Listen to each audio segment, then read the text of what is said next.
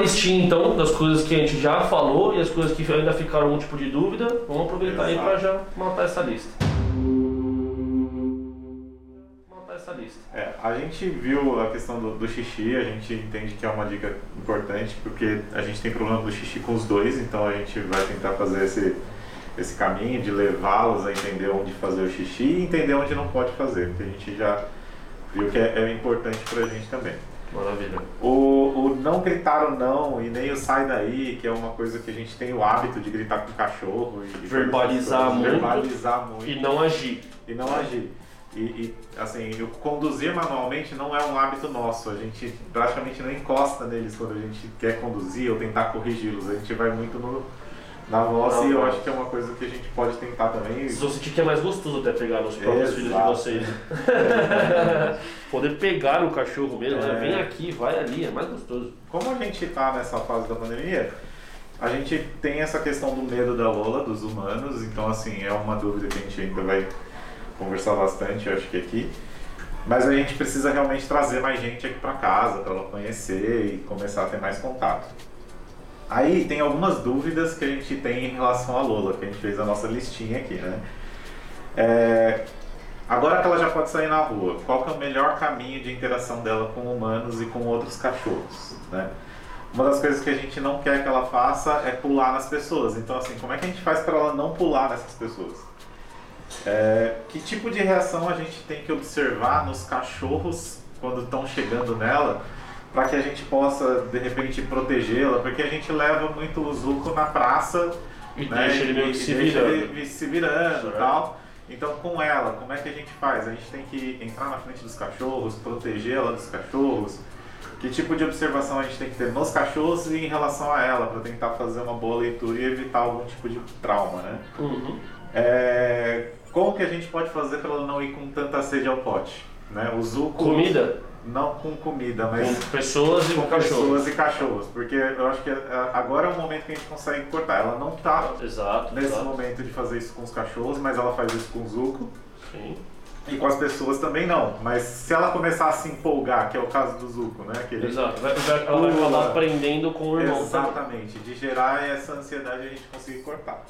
Tem mais alguma dúvida relacionada ao passeio? Não, de passeio acabou. E aí o último é como a gente sabe que eles dão, são dois salsichas, né? É. O Zuko a gente já treina bastante a questão da rampa. Ah, Ainda assim é muito difícil, né? É, A gente quer saber como a gente reforça o uso da rampa com ela. Qual é o melhor caminho? Maravilha. Uma das principais coisas que a gente vai ter que levar em consideração para que ela já entre muito mais na questão da educação e não seja educada pelo irmão, seja educada por vocês, é exatamente essa questão de liderança. Vocês têm que ser o real professor, o real líder, o, o real é, a, a figura máxima de respeito e não irmãozão, tá? Como que a gente faz isso? Continuando os treinos que vocês já vêm fazendo com o Zuko, só que com ela também, fornecendo todas as coisas necessárias que um cachorro precisa, que vocês já fazem muito bem, mas fazer com ela cada vez mais também, que é disciplina, exercício e afeto de forma equilibrada. Nem mais de um, nem menos do outro, tem que ficar bem equilibrado, tá? É, E cansa- e uma coisa que eu falo muito que é assim, que é muito importante, aí voltando um pouquinho para a questão do passeio. A maioria das pessoas está acostumada a simplesmente conduzir o cachorrinho, o gato, a ave, qualquer animal que seja, pelo passeio afora. Só conduzindo, acompanhando lá. Quem está liderando? O cachorro. Tá? Por mais que vocês falam pra mim assim, não, ele passeia do meu lado, bonitinho. Mas é ele que toma a decisão se ele vai querer partir para cima, se ele não vai, se ele vai querer esperar, se ele vai só observar ou se ele vai latir, não é? Então é importante a gente também conseguir liderar cada vez mais o passeio. Então o que, que é legal? Vocês não falaram que o comando na rua já tá bacana? Já- Eles já tão, ele já está respeitando o comando bacana na rua, começar a treinar cada vez mais ela. Mas pensa comigo, se ao invés de você estar passeando com o seu cachorro na rua, ele viu outra pessoa ou outro cachorro e já saiu desesperada, você pede para ele, fica. Senta e fica, aguarda. Quando ele realmente mostrar que a energia foi dropando um pouquinho mais, ok, pode ir lá cheirar. Por mais que ele vá ansioso, ele respeitou uma figura de liderança. Com o tempo ele vai começar a perceber, então, para eu poder fazer isso cada vez de uma forma mais gostosa, eu tenho que respeitar cada vez mais. E não adianta querer fazer por conta própria. Certo? A gente, a, gente, a gente faz bastante isso com ele quando Aham. a gente vai atravessar a rua. Toda vez que eu chego na esquina, eu paro. Mesmo que não esteja passando Sim, carro nenhum, perfeito. a gente para. Toda esquina vira um treino, não é? Exatamente. Sempre falo isso. Toda esquina vira um treino. E por que não toda pessoa vira um treino? Depois todo cachorro vira um É, treino. Depois- essa prática mesmo. E aí- assim, às vezes a gente chega numa pet shop que a gente já conhece, a gente libera o cachorro. A gente solta ele da guia e aí ele fica na festa Doido, dele. alegre, exato. E aí é, Mas- é um grau de excitação muito alto. Uma coisa que é muito legal também, chegar alguns dias nessa mesma, nesse mesmo pet shop e não soltar. Depois que já tiver de boa cheirado todo mundo numa educação, seguindo uma disciplina, aí sim você solta. Para ele poder alcançar o que ele quer, primeiro ele precisa provar pra gente que ele sabe o que é o certo.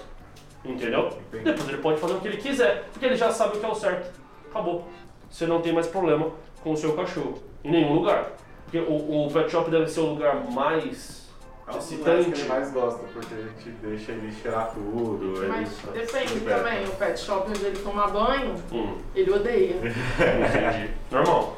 Normal. Pô. É verdade. Que você pensa assim, se ele não foi bem sensibilizado com o banho, é uma situação que ele odeia. Então ele odeia o pet shop.